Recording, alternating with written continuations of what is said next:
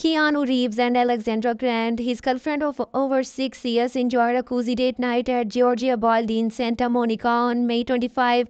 The couple, who have kept their relationship mostly private, looked stylish and smitten as they left the restaurant. Reeves, 59, opted for a classic black shirt under a dark blue suit coat paired with a grey scarf and dark blue pants. Grant, 51, dazzled in a shimmering black mini dress accessorized with a large gold necklace and diamond earrings. Reeves and Grant first met at a dinner party in 2009 and have collaborated on two books together. They made their relationship public in November 2019. In addition to their date night, the couple has recently attended the MOCA Gala and the Hammer Museum Gala, stepping out together on rare occasions. Reeves is currently filming Outcomes, a film directed by Jonah Hill, co-starring Matt Bomer, Cameron Diaz, and others. The film follows a Hollywood star named Reeve, played by Reeves, who must confront his past after being extorted with a damaging video. Meanwhile, Reeves and Grant are known for their homebody lifestyle. They prefer to host dinner parties at their home rather than attended events. Sources have described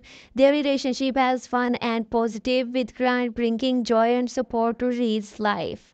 The Matrix actor and his girlfriend Alexandra Grant, who have kept their relationship mostly private, are spotted on a date night at Giorgio Baldi in Santa Monica. Keanu Reeves and Alexandra Grant enjoy date night at Giorgio Baldi.